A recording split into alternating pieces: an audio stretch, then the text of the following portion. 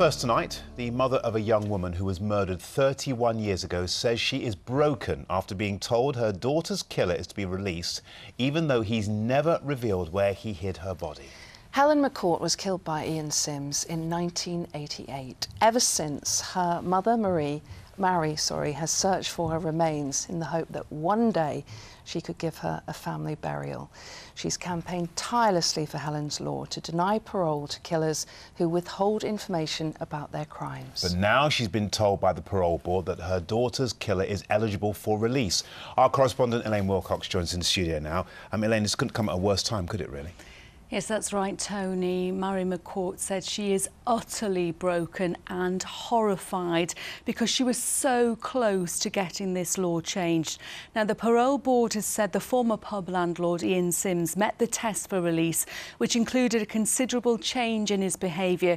But that's even though they concluded he would never reveal where Helen's body is and lacked empathy. But shaking with anger and in tears, Helen's mum told us at her home in Billinge she feels betrayed by all of the politicians over the years who'd promised her family they would end this torture.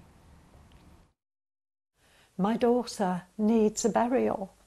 She needs, uh, her family needs to say goodbye to her. And that's not going to happen now if they do release him.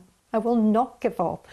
I may not get Helen's body, but I'll still fight for these other families that their loved ones are returned.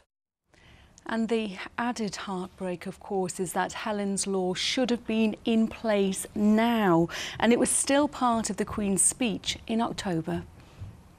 Laws will be introduced to ensure that the parole system recognises the pain to victims and their families caused by offenders refusing to disclose information relating to their crimes. But despite that, then came the election and Parliament was dissolved and it never made it onto the statute books. Mary McCourt feels the decision by this seventh parole board, she feels it's been rushed through. She says it's not in Simms' interest now to reveal where Helen's body is because now he can walk out of prison still protesting his innocence and still keeping that hold over her family. Elaine, thanks very much indeed for that. Thank you.